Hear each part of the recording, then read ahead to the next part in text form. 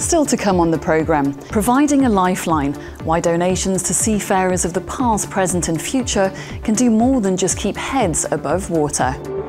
Mayday, when maritime disasters hit, how P&I clubs prevent the business going down with a ship.